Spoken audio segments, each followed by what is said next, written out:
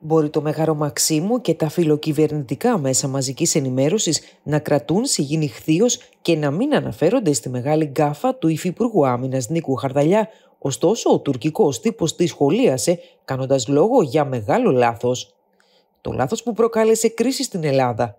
Το Υπουργείο Άμυνας μοιράστηκε λανθασμένα μυστικές στρατιωτικές εγκαταστάσεις, είναι ο τίτλος του τουρκικού Αχαμπέρ, το οποίο αναφέρθηκε στην πρωτοφανή κάφα του Υφυπουργού Εθνικής Άμυνας Νικού Χαρδαλιά, ο οποίος για λόγους προσωπικής προβολής έδωσε στη δημοσιότητα απόρριτο χάρτη από στρατόπεδο της Θεσσαλονίκης. Το τουρκικό μέσο μεταξύ άλλων σημειώνει πως το Υπουργείο Άμυνας έχει υποστεί μεγάλη κρίση, ενώ δεν παρέλειψε να αναφερθεί και στις εκρήξεις των πυρομαχικών στη Νέα Αγχίαλο. Στην Ελλάδα, η οποία μάχεται με τις πυρκαγιές, το Υπουργείο Άμυνας έχει υποστεί μεγάλη κρίση.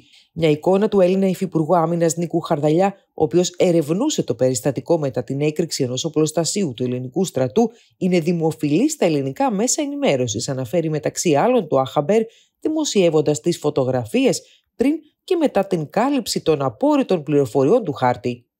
Την ίδια στιγμή ανάλογο δημοσίευμα υπάρχει και στην τουρκική Σαμπάχ, κάνοντας λόγο για επικίνδυνο λάθος του ελληνικού Υπουργείου Άμυνας.